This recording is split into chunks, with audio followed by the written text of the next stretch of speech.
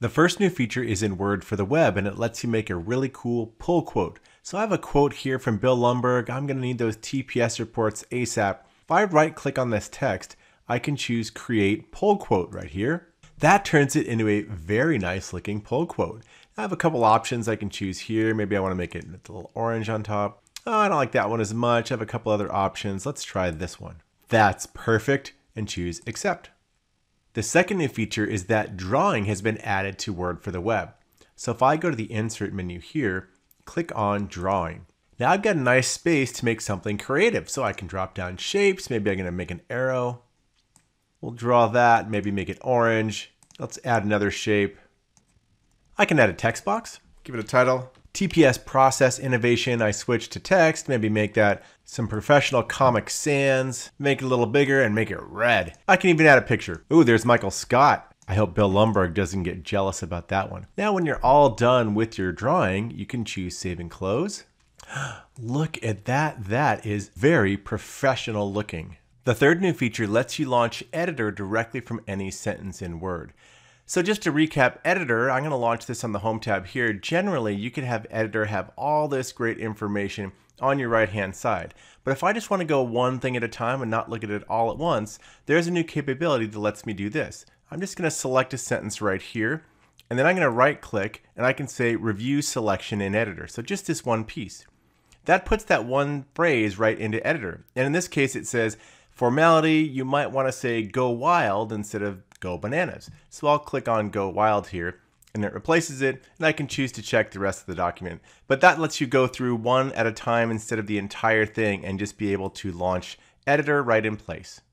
The fourth new feature lets you insert images right from your OneDrive into Word for the web. So on the Insert tab here, I'll choose Picture, and now there's a OneDrive choice. Here's a nice image TPS report cover sheet, a nice picture. Let's put that in there. Ooh, that is looking very nice. The fifth new feature is picture borders. So here's my TPS report picture. Go to picture, and now you're gonna notice that there are borders. So I have lots of different options. Maybe I wanna make a nice green border, and maybe I wanna go back and I wanna make that weighted really thick. There we go. That is just, I'm a designer at heart. What can I say?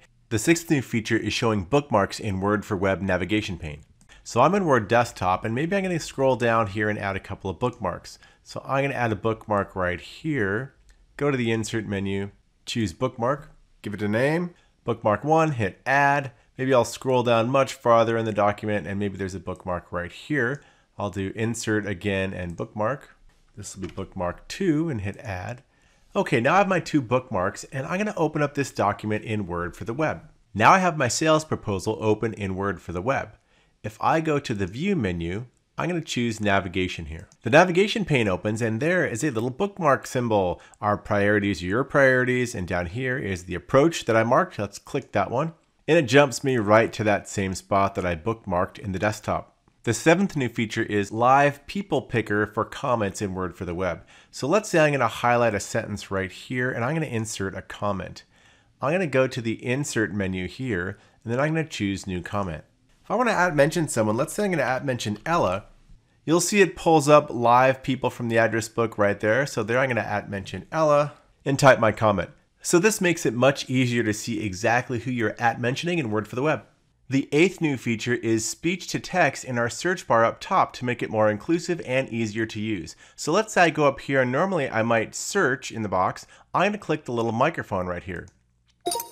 Immersive Reader. And now it pulls up this immersive reader topic. Okay, here's the immersive reader. I'm going to click this right here. And hey, there's the immersive reader. Now you can search for any of your commands using speech to text. If you found this video useful, give it a like.